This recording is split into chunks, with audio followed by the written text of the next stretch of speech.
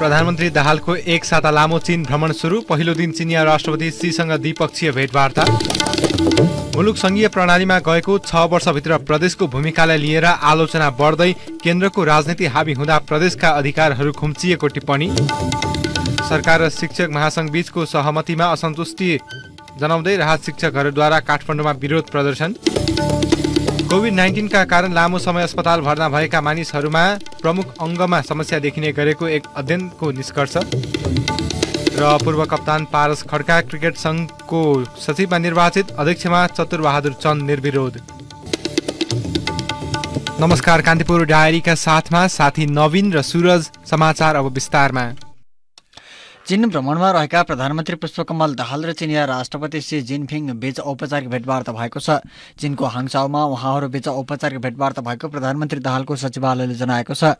उन्नाइसौँ एसियाली खेलकुदको उद्घाटन समारोह अघि भेटवार्ता भएको प्रधानमन्त्रीका प्रेस सल्लाहकार गोविन्द आचार्यले जानकारी दिनुभयो। संयुक्त राष्ट्रसङ्घको महासभामा सहभागी भई प्रधानमन्त्री दाहाल आज बिहान अमेरिकाको न्युयोर्कबाट चीन पुग्नु भएको थियो। न्युयोर्कबाट परराष्ट्र मन्त्री एनपी साउदो परराष्ट्र सचिव भरतराज पौडेल र परराष्ट्र मन्त्रालयका अन्य अधिकारी सहित प्रधानमन्त्री दाहालको टोली चीन पुगेको हो। प्रधानमन्त्री दाहाल हाङचाउबाट भोलि बेइजिङ जाने तालिका छ। त्यहाँ सोमबार चिनिया समकक्षी लि छ्याङसँग दुई द्विपक्षीय भेटवार्ता गर्ने परराष्ट्र मन्त्रालयले जनाएको छ। भ्रमणका क्रममा दुई देशबीच केही महत्त्वपूर्ण सम्झौता गर्ने तयारी भएको छ। तेस्रो पटक प्रधानमन्त्री बनेपछि दाहालको यो पहिलो चीन भ्रमण हो।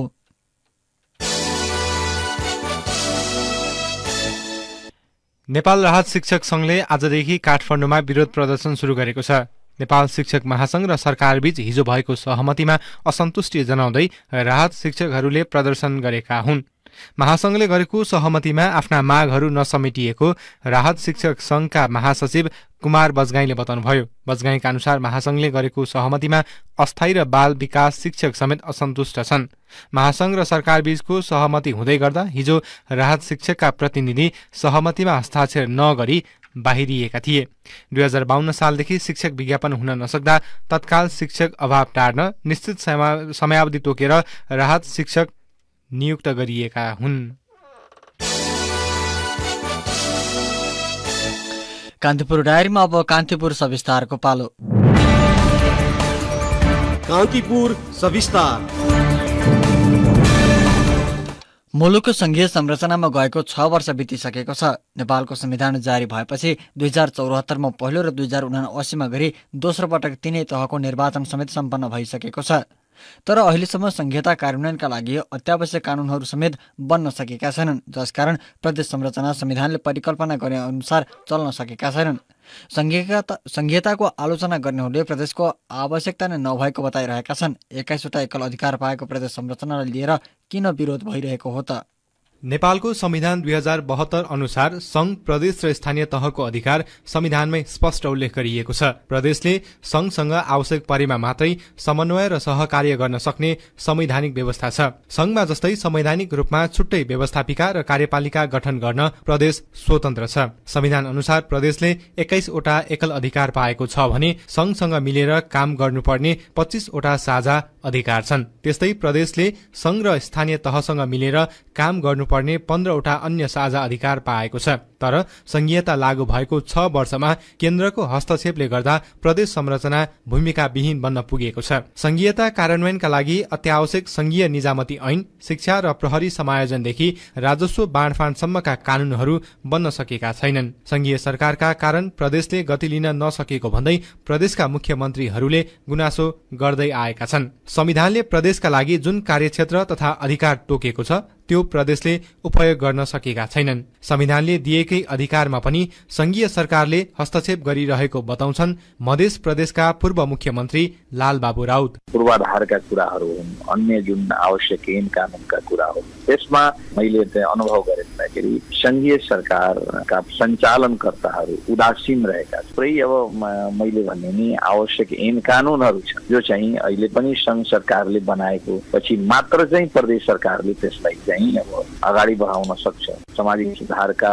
सामाजिक न्यायका मुद्दालाई एड्रेस गर्ने त्यस्ता थुप्रै ऐनहरू प्रदेश सरकारले निर्माण गरे तथापि अहिले चाहिँ थुप्रै ऐनहरू यस्ता छन् जो चाहिँ सङ्घीय सरकारले सङ्घमा ऐन बनाइसकेपछि मात्र त्यो कार्यान्वयनमा सजिलो हुन्छ त्यसैले के देखिएँ मैले भन्दाखेरि सङ्घीय सरकार आफै चाहिँ संहिता कार्यान्वयनमा उदासीन छ इमान्दार छैन भन्दा पनि हुन्छ संविधानको धारा छप्पन्नमा राज्यको शक्तिलाई संघ प्रदेश र स्थानीय तहमा विभाजन गरिएको छ तर प्रदेश र स्थानीय तहलाई न्यायपालिका सम्बन्धी अधिकार छैन। संघीय सरकारबाटै हस्तक्षेपकारी भूमिका प्रदेशमाथि देखिने गरेको छ। सरकार निर्माणदेखि विकास योजनाका काम गर्ने सम्बन्धमा पनि केन्द्रले हस्तक्षेप गर्दै आएको देखिन्छ। प्रदेश सरकारको नेतृत्व गरिरहँदा स्वतन्त्र भएर काम गर्न सकेको अनुभूति हुन नसकेको बताउँछन् लुम्बिनी प्रदेशका मुख्यमन्त्री दिल्ली बहादुर चौधरी दरबारमा जो पनि हुनुहुन्छ मैले यो भनिन।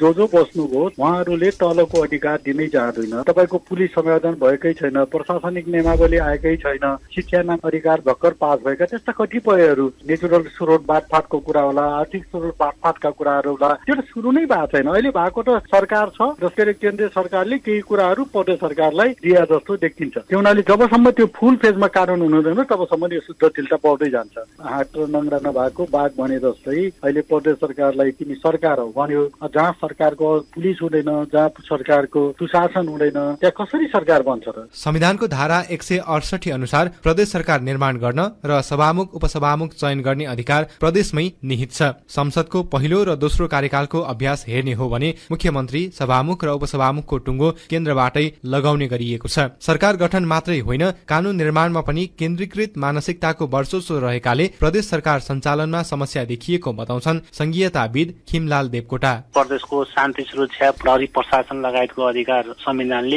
एकल अधिकारमा प्रदेशलाई दिएको छ अहिलेसम्म प्रहरी समायोजन भएको छैन। यो सबैभन्दा ठुलो बोलियो प्रमाण पनि त्यही हो। किनभने तपाईँसँग हातमा प्रहरी पनि छैन है तपाईँको दण्ड जरिमाना पनि गर्न सक्नुहुन्न पर्याप्त वित्तीय स्रोत साधन पनि छैन तपाईँको हातमा कर्मचारी पनि छैन भनेपछि तपाईँले शासन चाहिँ कसरी चलाउनुहुन्छ?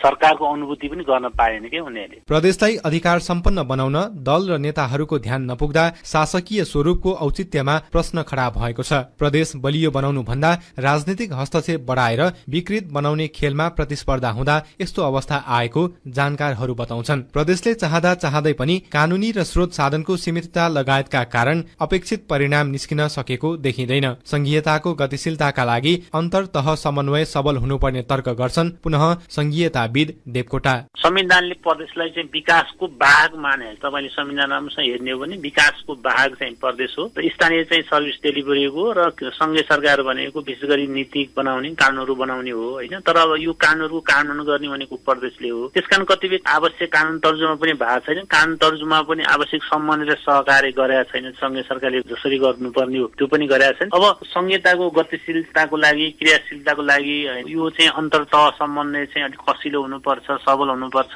चलायमान हुनुपर्छ। निरन्तर मुख्यमन्त्री मन्त्रीहरूसँग सङ्घीय सरकारले छलफल गर्ने। अब कतिपय अब यस्ता विधेयकहरू ड्राफ्टिङको बेलामा पनि तल छलफल गर्दैन क्या यहाँको सरकारले। चाहे शिक्षाका कुराहरूमा तलका प्रदेशहरूसँग छलफल गर्ने स्वास्थ्यका विषयमा तल छलफल गर्ने छँदै छैन क्या। एक्लै हिँड्ने खालको सोच र मानसिकता माथि देखिएको छ। प्रदेश संरचना संघीयताका पर्याय हुन्। प्रदेश बिनाको संघीयता कल्पना गर्न सकिँदैन। संघीयताको सबलीकरणका लागि हाल प्रदेश सञ्चालन सम्बन्धमा सतहमा देखिएका समस्याको समाधान गर्न आवश्यक छ। प्रदेशलाई चलायमान गराउने हो भने संघीय सरकारको हरेक निकायले हस्तक्षेप भन्दा पनि इमान्दार सहयोग गर्नुपर्छ। त्यसका लागि प्रदेशप्रतिको व्यवहार र दृष्टिकोणमा परिवर्तन हुन जरुरी छ। रेडियो कान्तिपुरका लागि सुरज राजथला। कान्तिपुर सविस्तार। कान्तिपुर डायरीमा अब ब्रेकको पालो। अब बाँकी प्रसङ्ग सुन तस्करी प्रकरणमा उच्चस्तरीय जाँचबुझ आयोग बनाउने दलहरूबीच भएको सहमति भए पनि कार्यान्वयन भने हुन सकेको छैन। काङ्ग्रेस एमाले माओवादी केन्द्र राष्ट्रिय स्वतन्त्र पार्टी सहित संसदमा प्रतिनिधित्व गरेका सात दलबीच असोज पाँच गतेभित्र उच्चस्तरीय आयोग बनाउने सहमति भएको थियो। सरकार र प्रतिपक्षी दलबीच हिजो छलफल भए पनि सहमति कार्यान्वयन हुन नसकेको हो। आयोग गठन गर्ने विषयमा सरकार र प्रतिपक्षी एमाले एक अर्कालाई दोष लगाएका छन्। माओवादी केन्द्रका प्रमुख सचेतक हितराज पाण्डेले एमाले अनावश्यक शर्त थपेका कारण आयोग गठनमा सहमति हुन नसकेको बताउनुभयो। गत भदौ छ गते भएको सहमतिमा एमाले अडिग हुन नसक्दा समस्या भएको उहाँको भनाइ छ। एमालेका सचेतक महेश बर्तौलाले भने सुन तस्करी प्रकरणको छानबिन फितलो बनाउने प्रयासमा सरकार लागेको आरोप लगाउनुभयो। पछिल्लो पटक भएका सुन तस्करी प्रकरणबारे एकीकृत छानबिनका उच्चस्तरीय जाँचबुझ आयोग बनाउन गत भदौ छ गते दलहरूबीच सहमति भएको थियो। एकसठी किलो सुन तस्करी प्रकरणमा प्रहरीको केन्द्रीय अनुसन्धान ब्युरो सिआइबीले सरकारी वकिलको कार्यालयमा प्रतिवेदन बुझाएपछि असोज पाँच गते आयोग बनाउने भनिएको थियो। सिआइबीले आफ्नो प्रतिवेदन बुझाइसकेको छ। जिल्ला कारागार बर्दियाका जेलर सन्तोष विकलाई कारवाहीका लागि सिफारिस गरिएको छ। गत भदौ सत्र गते कारागारमा कैदी जीवन बिताउँदै आएका अजित बुढा छेत्री फरार भएको घटनाको छानबिन टोलीले विकलाई कारवाहीका लागि सिफारिस गरेको हो। यस्तै कैदी फरार भएका दिन कारागारको सुरक्षार्थ खटिएका कर्मचारीसहित सुरक्षा प्रमुखमाथि छानबिन गर्न जिल्ला प्रहरी कार्यालयमा सारिएको हाम्रा सहकर्मीले जनाएका छन्। कैदी फरार हुनुमा जेलर विकको कमजोर र हेलचक्राइ भएको पाइएकाले कारवाहीका लागि गृहमा सिफारिस गरिएको बर्दियाका प्रमुख जिल्लाधिकारी नारायण रिसालले जानकारी दिनुभयो। कारागारबाट फरार कर्तव्य ज्यान मुद्दाको अभियुक्त बुढा छेत्रीलाई अहिलेसम्म भेटिएको छैन। जिल्ला अदालत बर्दियाबाट तीस वर्ष कैद सजाय पाएका बुढा छेत्रीलाई एक वर्ष कैद भुक्तानी नहुँदै जेलर बिकाको निर्देशनमा नाइके बनाइएको थियो।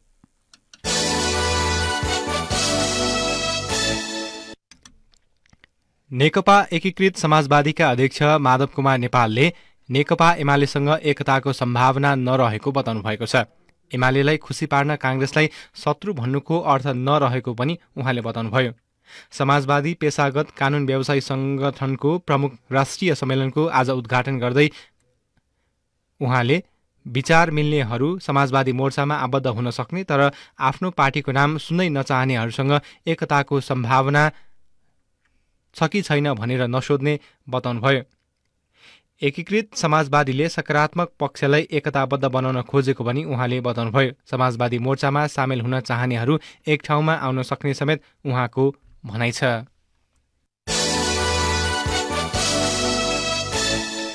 सेतो पुतलीका कारण आँखामा हुने संक्रमणबाट सावधानी अपनाउन स्वास्थ्य तथा जनसङ्ख्या मन्त्रालयले आग्रह गरेको छ। वर्षायाम पछिका महिनामा सापो समेत भनिने पुतलीका कारण आँखामा हुने सो सम्भावना उच्च रहने भन्दै मन्त्रालयले सावधानी अपनाउन आग्रह गरेको हो। हरेक उमेर समूहका व्यक्तिमा देखिने यो सङ्क्रमणको समयमा उपचार नभए आँखाको दृष्टि गुम्ने जोखिम रहने मन्त्रालयले जनाएको छ। एक्कासी एउटा आँखा रातो हुने उज्यालोमा हेर्न गाह्रो हुने जस्ता समस्या यो सङ्क्रमणका लक्षण हुन्। पुतली बाहेक अन्य जीवाणुबाट समेत यसको सङ्क्रमण फैलन सक्ने विज्ञहरूको भनाइ छ।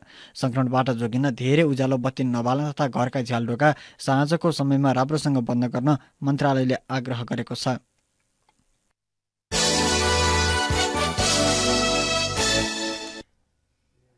नेपालमा पछिल्ला महिनाहरूमा डेङ्गी सङ्क्रमणबाट मृत्यु हुनेको सङ्ख्या पन्ध्र पुगेको छ। यस्तै सङ्क्रमितको सङ्ख्या अठाइस हजारभन्दा बढी पुगेको स्वास्थ्य तथा जनसङ्ख्या मन्त्रालयले जनाएको छ। छयत्तर जिल्लामा डेङ्गी फैलिँदा झापा मोरङ सुनसरी काठमाडौँ र धादिङमा पछिल्ला दिनहरूमा सङ्क्रमण बढी देखिएको हो। ती जिल्लामा अहिले पाँच सयभन्दा बढी सङ्क्रमित भेटिएका छन्।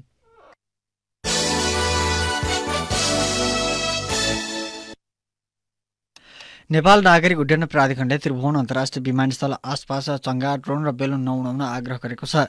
विमानस्थल क्षेत्रमा चङ्गा ड्रोन र बेलुन उडाउँदा उडान सुरक्षामा गम्भीर असर पर्न सक्ने भन्दै त्यस्ता कार्य नगर्न प्राधिकरणले सचेत गराएको हो। प्राधिकरणले सूचना जारी गर्दै चङ्गा ड्रोन बेलुन तथा लेजर लाइटको प्रयोगले उडान सुरक्षामा पार्ने जोखिमतर्फ ध्यान दिन सर्वसाधारणलाई आग्रह गरेको छ। प्राधिकरणको आग्रहलाई व्यवस्था गरेमा कारवाही गरिने सूचनामा उल्लेख छ।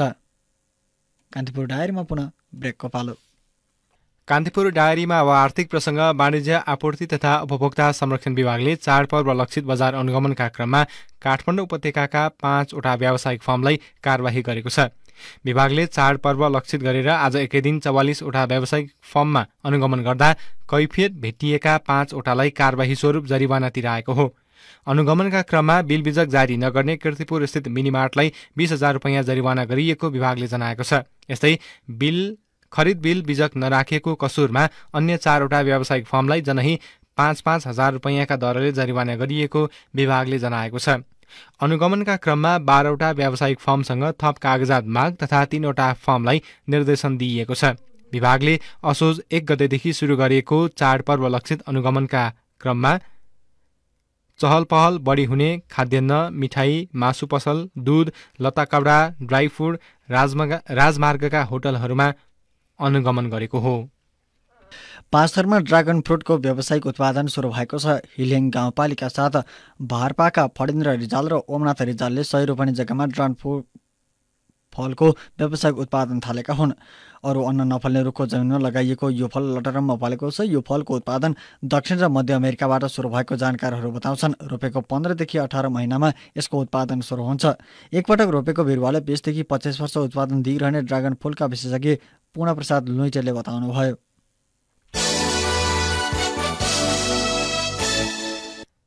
अब अन्तर्राष्ट्रिय प्रसङ्ग कोभिड नाइन्टिनका कारण लामो समय अस्पताल भर्ना भएका मानिसहरूको प्रमुख अङ्गमा समस्या देखिने गरेको एक अध्ययनले देखाएको छ।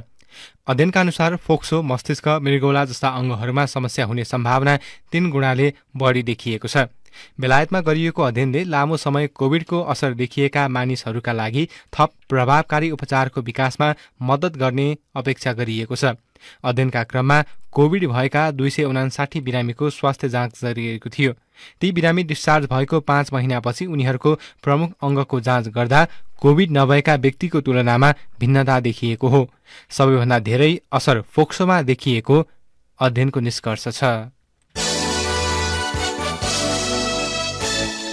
चीनमा विवाह दर घट्न थालेको सरकारी तथ्याङ्कले देखाएको छ। चीनमा दम्पतिहरूलाई विवाह गर्ने प्रवर्धन गर्ने नीति र चिनिया समाजको वैवाहिक सम्बन्धमा परम्परागत अपेक्षाहरू भए तापनि विवाह दर घटिरहेको अन्तर्राष्ट्रिय सञ्चार माध्यमले जनाएका छन्। सन् दुई हजार तेह्रमा वार्षिक करिब एक करोड पैँतिस लाख जोडीले विवाह गरेकामा गत वर्ष झन्डै अडसठी लाखमा झरेको तथ्याङ्कमा उल्लेख छ। तथ्याङ्कले चीनमा मानिसहरूलाई ढिलो विवाह गर्ने सम्बन्ध विच्छेदको दर बढ्दै गएको र अविवाहित रहन रोज्नेहरूको सङ्ख्या बढ्दै गएको जनाएको छ। चिनिया युवाहरूको चिनिया युवाहरूले विवाहलाई आफ्नो आधुनिक जीवनसँग मेल नखाने गरेको बताउने गरेका छन्। उनीहरू विवाह गर्ने सोचले खुसीभन्दा पनि तनाव दिने गरेको उल्लेख गर्दै आएका छन्।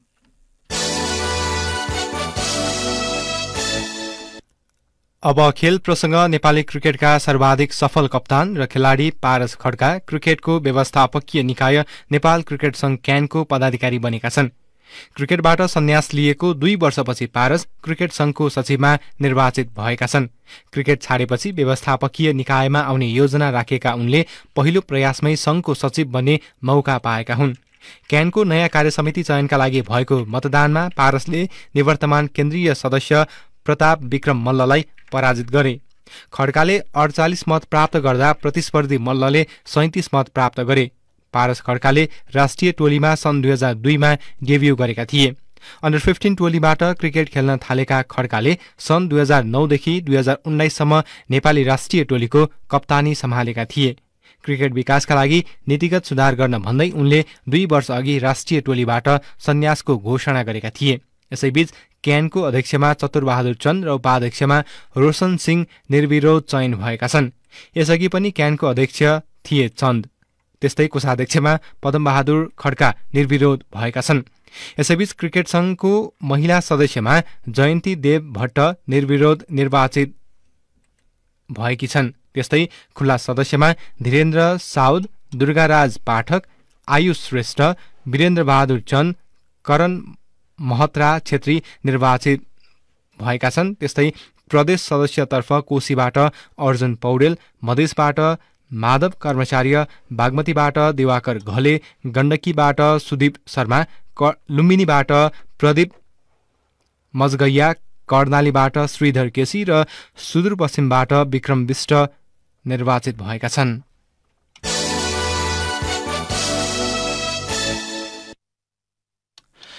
काठमाडौँमा जारी अन्डर नाइन्टिन च्याम्पियनसिप फुटबलमा पाकिस्तान सेमिफाइनलमा प्रवेश गरेको छ। त्रिपुरेश्वर स्थित दशरथ रङ्गशालामा भएको खेलमा मालदेवसँग एक एक गोलको बराबरी गर्दै पाकिस्तान सेमिफाइनलमा पुगेको हो। पाकिस्तानले यसअघि नेपाललाई एक शून्य गोल अन्तरले हराएको थियो। पछि सोमबार हुने सम्भव चरणको अन्तिम खेलमा नेपाललाई सेमिफाइनलमा स्थान बनाउन मालदिप्स विरुद्ध जित निकाल्नुपर्ने छ भने मालदिप्सलाई बराबरी गरे पनि पर्याप्त हुनेछ। यसैबीच अहिले जारी अर्को खेलमा भुटान र बङ्गलादेशबीच प्रतिस्पर्धा भइरहेको छ। यसअघि बङ्गलादेश भारतसँग तिन शून्य गोल अन्तरले स्तब्ध भएको थियो।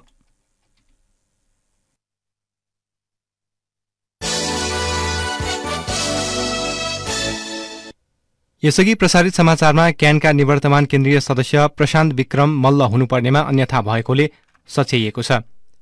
अब बाँकी प्रसङ्ग एसियाली खेलकुद इतिहासकै सबैभन्दा ठूलो प्रतियोगिता चीनको उत्तर दक्षिण सहर हङचाउमा आजबाट औपचारिक रूपमा सुरु हुँदैछ। चिनिया राष्ट्रपति सी जिनफिङले हाङचाउ स्पोर्ट्स पार्क स्टेडियममा विशेष कार्यक्रमबीच प्रतियोगिताको उद्घाटन गर्दै हुनुहुन्छ। एसियाडको उद्घाटन समारोहमा विभिन्न मुलुकका राष्ट्राध्यक्ष र सरकार प्रमुखकै सँगै नेपालका प्रधानमन्त्री पुष्पकमल दाहाल पनि सहभागी हुनुहुनेछ।